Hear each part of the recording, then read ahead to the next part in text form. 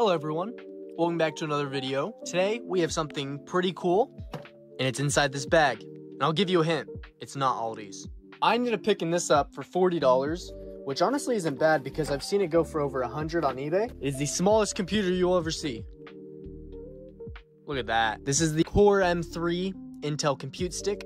They do have another one that's an Atom processor that is pretty worse than this. This one's actually pretty good. And well, I say pretty good. It has a score of like 2100 on CPUbenchmark.net. Let's see what we can do with this because I feel like we can definitely push some gaming out of this and just some other stuff. I mean, really going to be pushing the limits of this portable computer. The other stuff that's in the bag, we have the uh, power brick, Type C to Type C.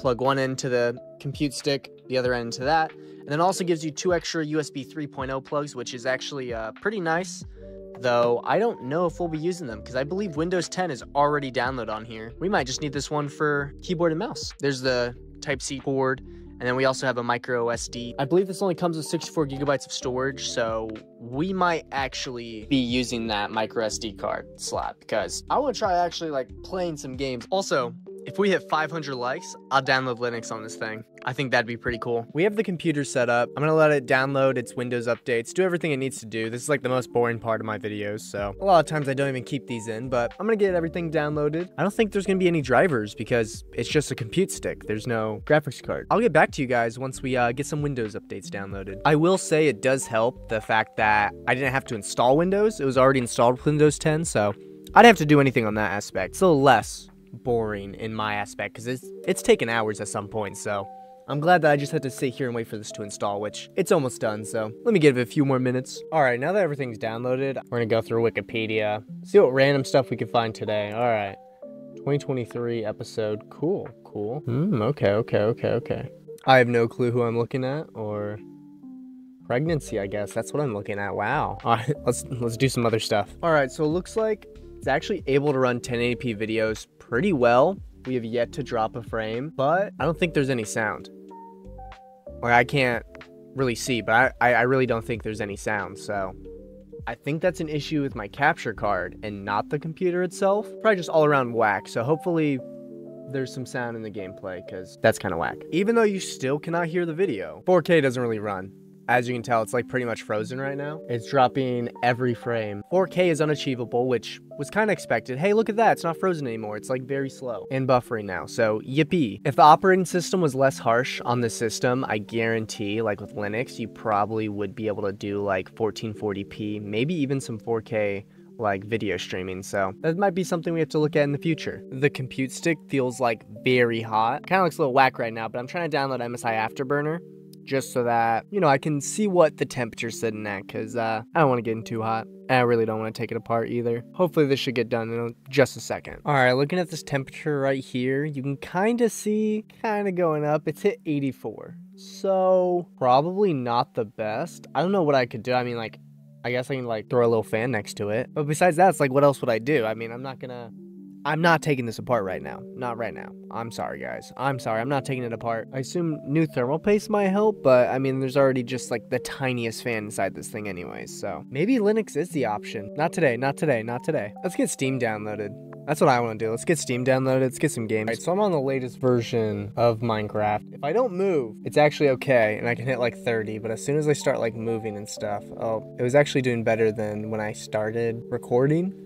I was only getting like 15 FPS, but I mean, technically, it's not. I, I wouldn't play like this. This this is horrible. I even turned down a lot of the settings, so this is fast, as you can see by the leaves. And I even turned down render distance to like 8 chunks, so I feel like it's just dipping a lot. Maybe if you capped it at like 30 FPS, it'd be okay. Okay, I guess we're in windowed mode now. I haven't played modern Minecraft in probably more than six months. So yeah, see, it's it's dipping down a lot. It's dipping down a lot. Yeah, this isn't really playable. Let's get let's get an older version. Let's play something I'd play. Here we are in beta 1.7.3. I mean, it's definitely more playable. I'll say that. It's more playable. It's less stuttery. Though I can't fly around because there's uh no creative in this version. Probably could have uh downloaded some mods that probably allowed me to do that, but oh well. We're on fancy settings. You can see through the leaves. So I guess that's an improvement. Like I said, this is pretty playable. Probably gonna get a way smoother frame rate than the most modern version of Minecraft. I'm even surprised that it like even launched and, like was playable. That's my that's my biggest thing. So the fact I was able to do that was really cool. See if we can find an exposed dungeon maybe. And there's the ocean. Okay. I guess there's nothing here. Let's move on to our actual games on Steam now. Playing some Prison Architect now. I actually haven't really played this like that much now I think about it. I've obviously done the tutorial and like a little bit, but it's really it. This seems to be running perfectly fine. I don't know how it's to be late game, honestly, but we're hitting over 60 FPS, just doing our thing. Okay, maybe maybe it did just spike there. We're, we're not gonna talk about that. I think this is doing pretty well. Let's move on to our next game. All right, here we are. We have the Binding of Isaac. This is the Rebirth, not the newest version, but it's not the base Scratch game. So, all right, we're doing good. We're doing good. It's playing pretty well. We're on just standard settings, and yeah, honestly, like I said, it's doing pretty well. I am not playing well. I'll say that. I'm not playing well at all. I'm literally about to die. Oh, there we go. Okay. I don't remember the controls for keyboard and mouse, so whoops. No, we're gonna move on to our next game. Unless we get like the best item ever in here. No. We, we, we just get bomby. I don't even know how to use the bomb. Okay. Okay. we'll move on to our next game. Alrighty, we're here in Cluster Truck. And honestly, it's not running half bad. We're only playing it in 720p. But honestly, it's kind of holding up. I mean, as long as we're sticking around that 30 FPS mark, it's doing pretty well. It can dip at some points. So you do have to kind of expect that. It's honestly not that bad. But yeah, honestly, I'm pretty surprised that this is even running fairly well. Oh. Some of the later levels are probably going to be way more unstable but for right now, at least in World 1, we're doing okay. Whoa, whoa, whoa, whoa, whoa, that's a lot going on. That's a lot going on. I am now starting to see the limitations. I mean, we're really staying around that 30 FPS mark, and when we do dip, it's not much. I don't think we go under 20 very often. Alright, the last level we're doing. But no, honestly, this is actually playable. The fact that I'm able to get through a whole world and not really have issues, it might not be the most enjoyable experience. We'll go on to the next game. All right, the next game that we have up is The Escapist. It's running perfectly fine. I want to make sure I don't get searched. Of course I'm getting searched. Of course. I forget the controls. Like I said, I played controller a lot, so I don't even know the controls. I lost everything. Yeah, I don't really remember the controls in keyboard and mouse. I have to play this more. I've been getting more into the custom maps, so that should be a lot of fun. It's running perfectly fine. I don't see why you wouldn't be able to play this. Let's move on to our next game. All right, we're now playing Terraria. And honestly, it's running pretty fine.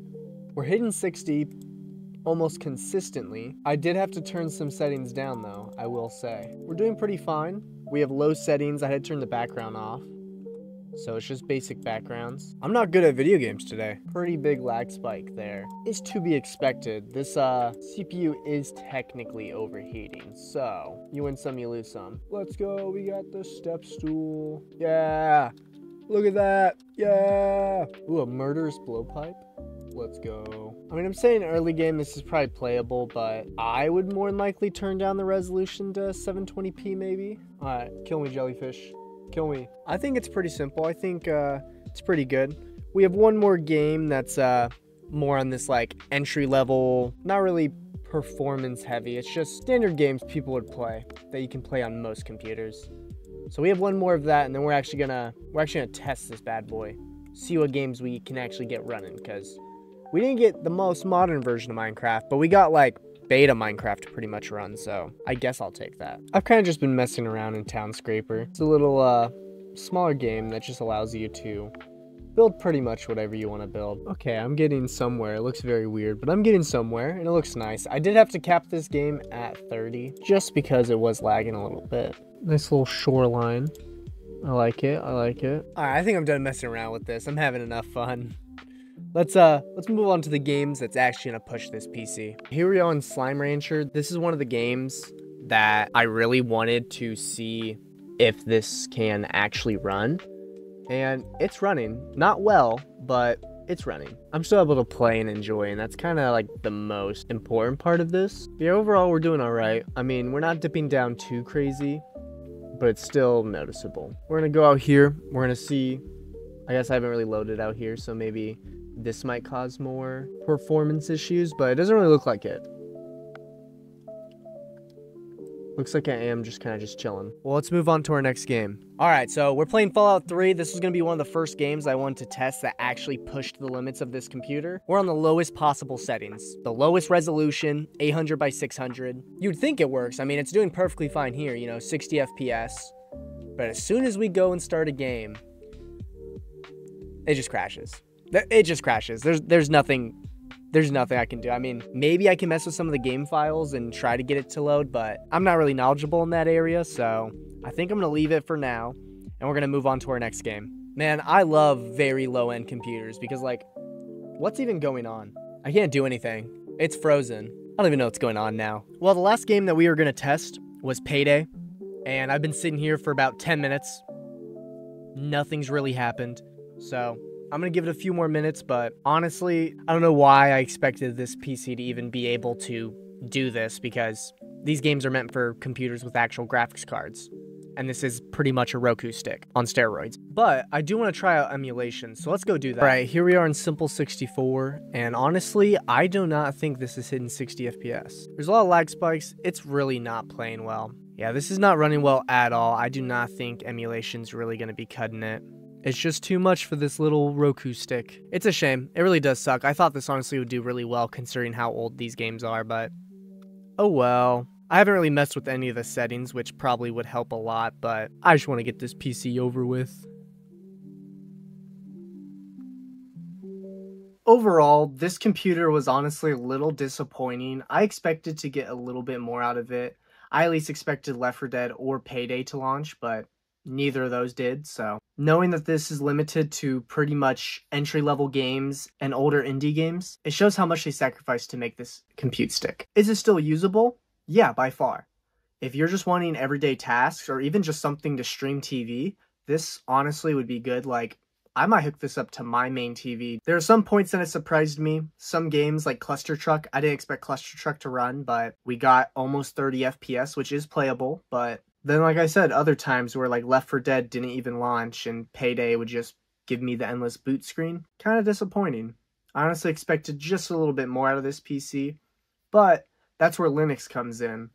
So like I said in the beginning of this video, if we hit 500 likes, I will download Linux on this, and I honestly think it's going to make a big improvement.